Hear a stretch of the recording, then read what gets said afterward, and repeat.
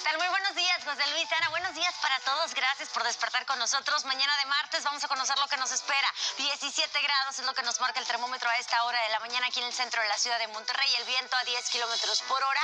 Tenemos la humedad elevada con el 93% y la presión atmosférica en 1013 milibares. Para hoy no hay pronóstico de precipitación. Vemos con atención las temperaturas en los diferentes municipios. Hay valores un poquito más frescos.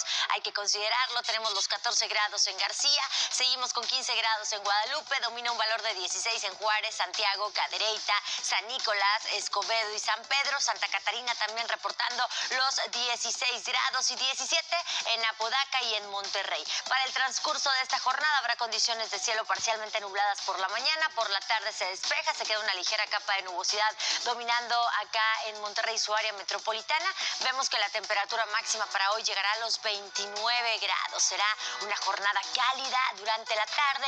Por la noche el valor vuelve a descender a una temperatura de 19 grados.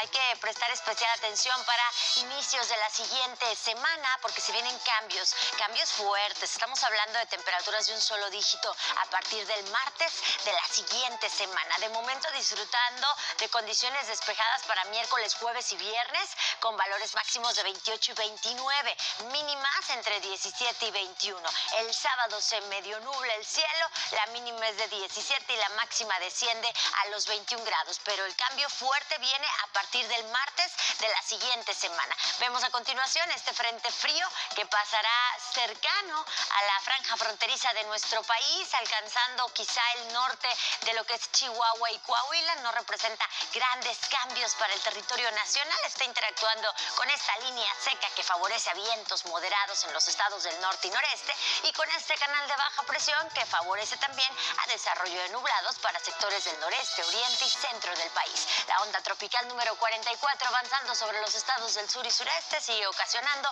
precipitaciones para los estados que se localizan en aquel sector. El día de hoy completaremos un total de luz solar de 10 horas con 43 minutos y la siguiente fase lunar será una hermosa luna llena que cambiará el lunes 30 de noviembre. Hasta aquí con mi reporte, yo vuelvo más adelante. Muy buenos días.